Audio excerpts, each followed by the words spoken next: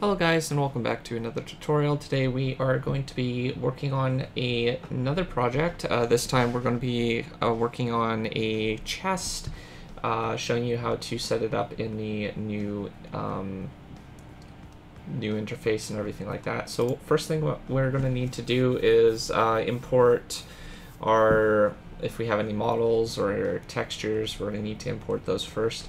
Now if you're just working with a basic block, then you're going to want to import just your textures, but in this case I'm going to be using a custom model I built uh, from uh, scratch in Cubik. I'll make sure to provide the download on my website, um, but uh, that'll be in the future because I'm actually currently working on the website right now and I can't really update it right at the moment.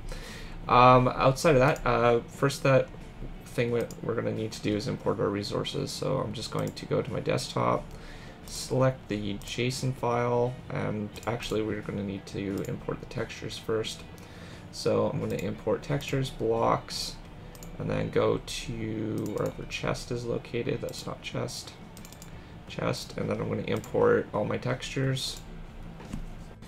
So once you have all your textures imported, uh, if you're using a custom model, then um, then you just go to uh, 3D models and textures, and then you click on JSON for your block, and then we're going to select our JSON file, and then we're going to assign all our textures, so that's actually top, so it's all in alphabetical order, so I think top would be, oh, if you just hover over it, it'll let you know which one is which.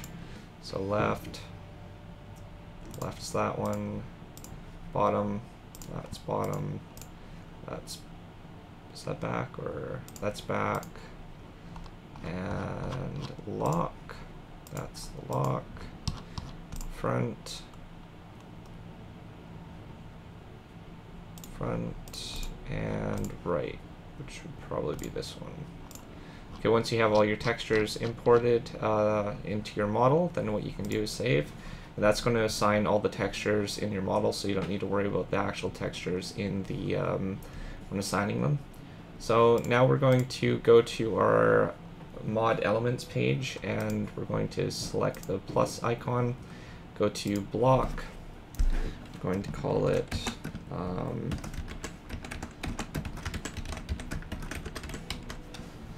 custom chest. Uh, this is just for the tutorial. You can call yours whatever you want. I'm going to just select a required texture down in the bottom uh, square so it actually has an icon in the program. Then what I'm going to do is select the JSON file model that we just imported. I'm going to select rotation uh, based on player player side rotation, uh, southwest, northeast, and I'm going to go on cutout. Now if you're doing um, any model that, or no model, then you don't really need to set the rotation or transparency. Um, but in my case I do. Now I actually am a wiki creator, so I did create a template so you guys can figure out the block dimensions. If we hop open, uh, hop over to MCreator wiki, I can quickly figure out the size that I need for the actual model. Okay, so we're on the block dimensions and bounding box uh, wiki page. Down below are some charts for uh, figuring out the exact or exact size for per pixel. Uh, this is the original Minecraft size, and this is the size that you're going to have to use for your boundary, boundary box if you're going to be using custom models and stuff like that. Now, of course, custom models will vary depending on your shape and stuff like that, but the easiest way to calculate um, how many pixels to offset it is to go down on the pixel list on your uh, size for minimum and size for maximum coordinates. I'm just going to show you how to quickly do that. So I know that the chest is actually one pixel in, so I'm going to select this one right here, and I'm just going to copy it I'm going to go over to the program and I'm going to paste that. Uh, something happened here. There we go. Something seems to be. Let me try copying it again. There we go. Okay, so that, uh, our minimum um, coordinates, so this is on the bottom, so we want this to be set to 0, and then we want that to be the next coordinates, and then all three of these will be the same. So I'm going to go back over here, go to the maximum coordinate. I'm going to select that like I did last time. And I'm going to just paste in all the same coordinates so it makes a nice rim around it. And that's all I need to do on this page. The next page, what I'm going to do is just give it a name. Now, this is going to basically give it a um, GUI name, so when you're hovering over the item, it'll say that it's a custom chest. And we're going to put it under decorations, and we want it to be wood, as well as wood sound. We don't need that. Um, we don't want to walk through it. Doesn't drop itself, that's fine. Self touches the way it should be. That should be an axe and then we can click next. We don't need any particle effects if, unless you want them. Now, uh, you have to enable this. Uh, this is to enable the entity inventory. Now, this is important to enable because we're going to be adding a GUI and linking it to the GUI. So we actually need this set up first. That's why we're building the block first. Uh, if you want to enable these, this is optional, but uh, as far as I know, you don't really need those in order to make it. Now, 27, I, let me just make sure this is right. times 3.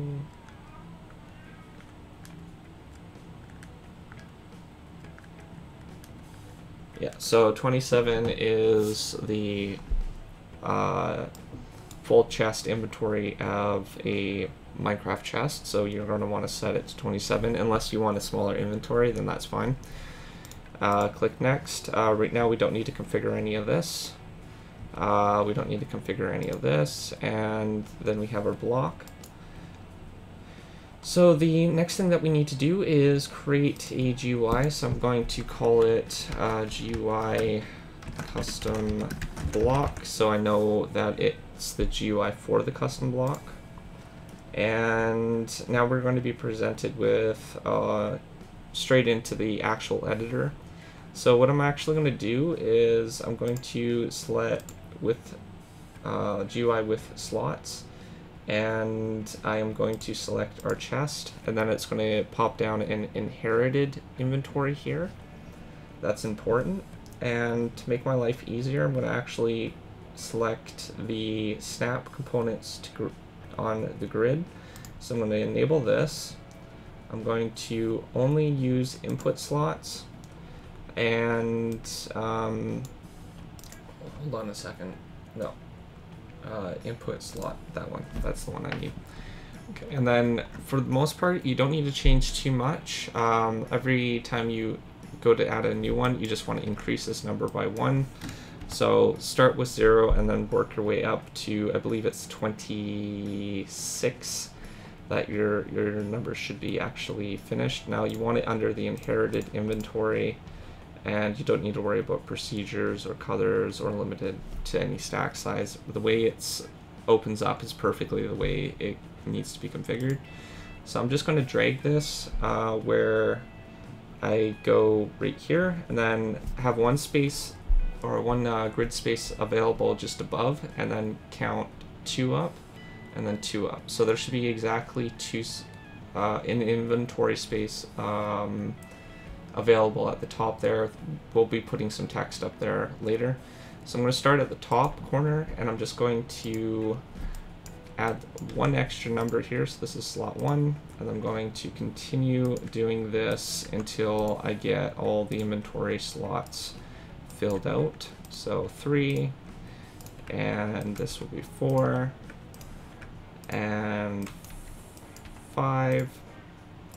And as you can see, that's basically what I'm doing. I'm just going to go along until I reach this uh, corner here. So I'll cut back in when we have that. Now, one thing that you might want to know is if you misclick somewhere, you can actually scroll down to the slot number. Uh, that's why we we always start with zero, is so we can easily find it on this list.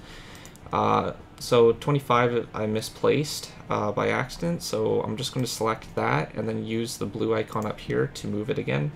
And I'm going to place it back down into the right slot. And 26 is our final inventory slot, and again I misplaced it. So I'm just going to move that and place it down again. So once we have that done, uh, I like to offset the grid um, on the y-axis to 30 and then I usually add a label and I just uh, go custom chest and now the default color for um, Minecraft's um, text is uh, 64 64 64 on RBG which is red green blue.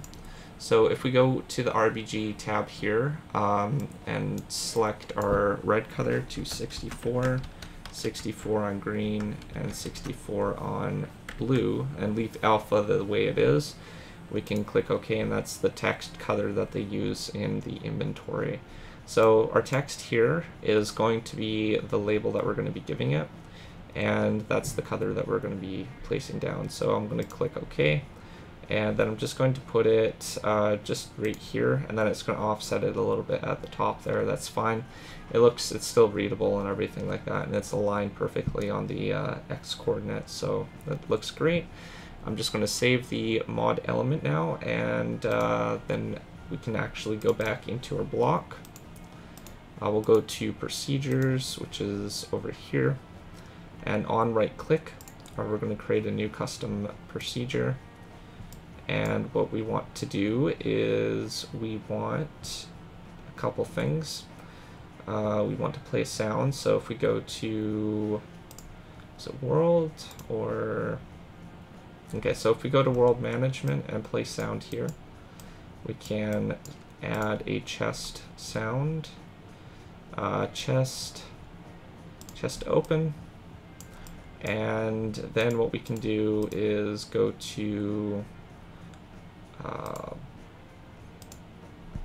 player and then open GUI for provided entity player and then the GUI that we just created. Now if you have multiple blocks with GUIs, uh, then you want to select, uh, or any multiple GUI, then you want to select the right one. That's why we name it the same thing as our block so we can easily find it. And that's all we need to do. We can just click OK and then click Next and save and then we'll hop in game and I'll show you guys how the chest works. Okay, so we are back in game. If you go to your decorations tab or whatever tab that you've placed your custom block under, uh, if you scroll down to the bottom of the list, it will say custom chest. If you select that and um, place that down, you can actually open it, it'll play the sound and you can store things in it like custom chests and there's no actual close um, sound because there's no way to detect when the inventory closes. Um, maybe um, Klemen or the, you know in the future we'll be able to uh, have a procedure that when the inventory closes we can actually detect um, if it does close and then we can create a uh, closed inventory sound. But outside of that, uh, that's basically what it is. It's not too much different than the regular chest. I noticed that it's the chest is actually two blocks shorter than I was predicting, so I'll have to fix that up. But outside of that, uh, hopefully you guys found this uh, tutorial useful. If you're new to my channel, don't forget to subscribe, comment down below, and I'll see you guys next time. Thanks for watching.